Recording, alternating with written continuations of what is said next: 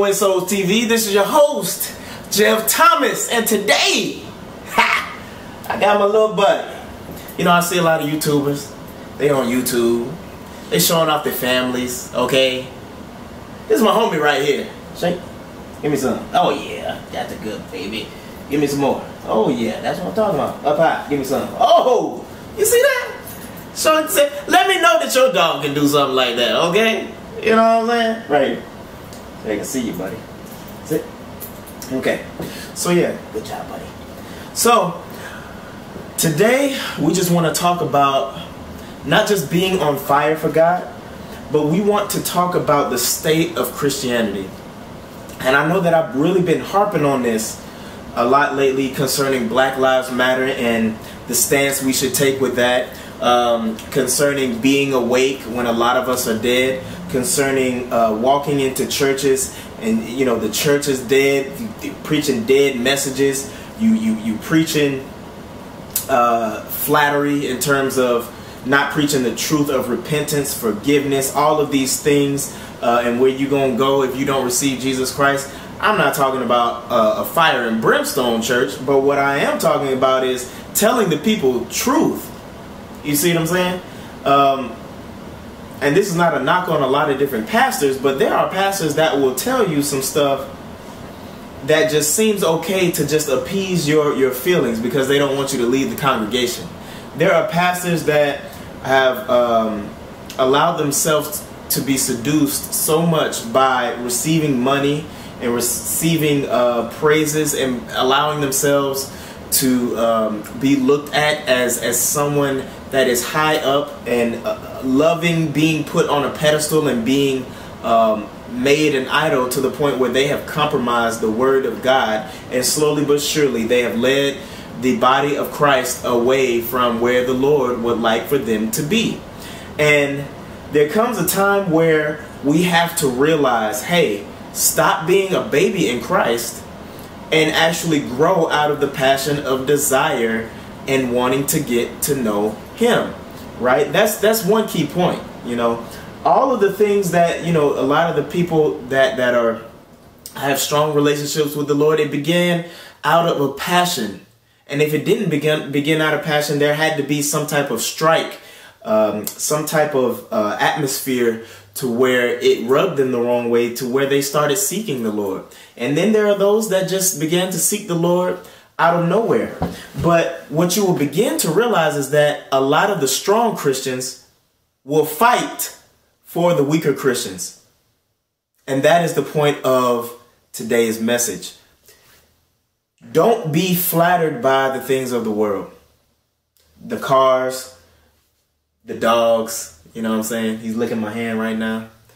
The puppies, the houses, your family, you know, all of the things that we can take pride in.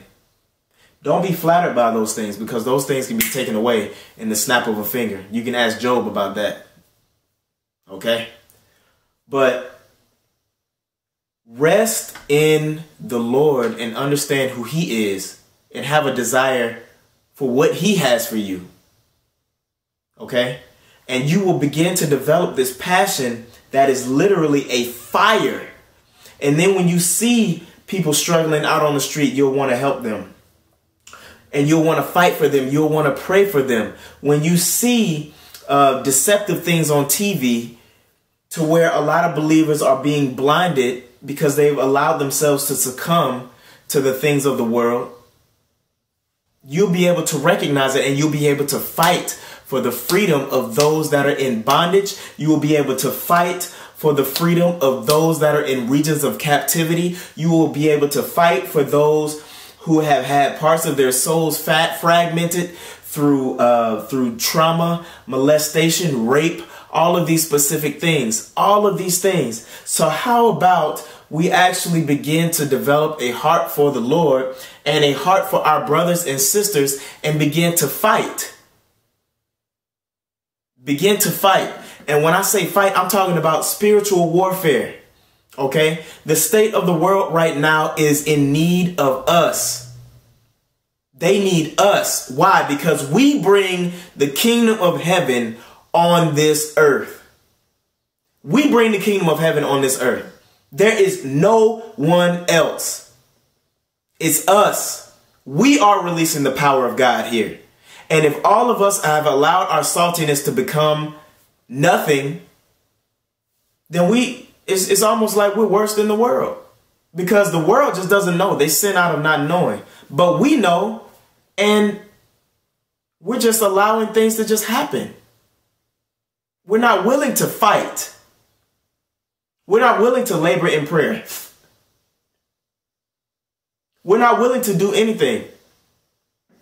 We have all of these pastors that have all of this great worship music, all of these uh, great buildings. Uh, they, they are known in the world, you know. Um, and not saying all of them, but some of them have fallen away from releasing the power of God. Why? Because it's almost as if people won't come to your church if you're not talking about the things that they want to hear. People won't come to your church if you start talking about deliverance. People won't come to your church if you start talking about spiritual warfare because they don't want to know that reality. They want to know this little nice little little house on the prairie God that a lot of these churches are preaching. Which is why we have weak Christians. We have weak Christians because they th- those realities are not being known. We are treating this Bible as if it's just a good little adventure book that we can take adventures out of and use as examples of things that we can accomplish without God. But there is a time where we need to begin to rise up, really believe the things in the word. Because look, if you don't walk out of it, then you really don't believe it. You really don't believe it. Okay? So it is it, there is a time where we have to rise up and begin to believe the things in the word. There is a time where we have to see the things in the word. No no matter how outlandish they they they may seem or illogical they may seem because we're just trying to think with our brains rather than our spirit or our mind that has been submitted to God.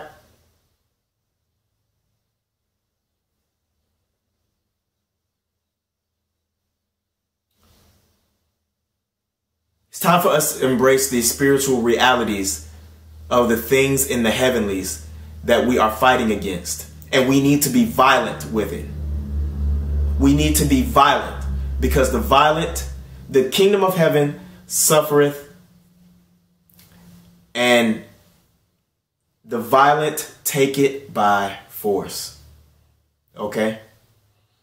Angels and demons are fighting in the second heaven right now. What are we going to do about it? If angels hearken to the voice of the Lord and we have the Lord living on the inside of us and they respond to our prayers and most of us are dead, then guess what? That's a problem. That's a problem. We have the great responsibility of unleashing glorious ferocity into this world. Let's begin to labor in prayer. Let's begin to learn how to fight. Okay? And these are some of the books.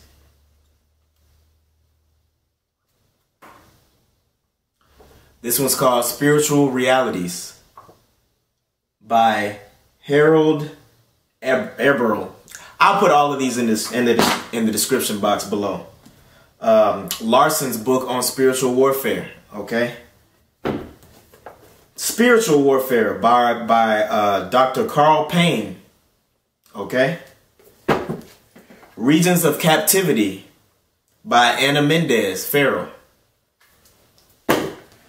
Destroying Fear by John Ramirez. Okay? And here's another book uh, in, in the spiritual realities um, thing by uh, Harold Eberl or Eberl um, Pigs in the Parlor. A Practical Guide to Deliverance by Frank and Ida, Ida Mae Hammond. The, this is a classic right here. You may want to go and get your hands on it if the Lord has called you to a deliverance. I mean, to a um, to a lifestyle of deliverance, which He has called all of us to. Okay, because listen, the Word tells us that these things will accompany those who believe. They will cast out demons. They will speak in new tongues. And the rest of the verse. Okay? So deliverance is for all of us. And don't let anybody tell you that you can't cast out demons or that is not for Christianity today. Where in the Word does it tell us that any of that stuff is true? God says that He is the same yesterday, today, and forever. And we are we need to make that a reality everywhere that we go every step that we take and every person that we shake hands with, every everything needs to be centered around the narrow path that we are walking on. And our calling and our discipleship and our love for Jesus Christ and our love for our brothers and sisters. Okay? Possessing the Gates of the Enemy by Cindy Jacobs. Okay?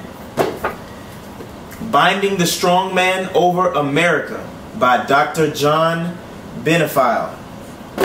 And Understanding Spiritual Warfare by Paul Rhodes Eddy.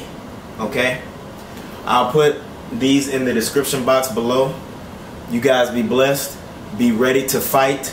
Be equipped because I'm telling you, when this world, because this world is not going to get any better. It's going to continue getting worse. But what is going to continue getting better is our relationship with the Lord if you so desire it. Be blessed.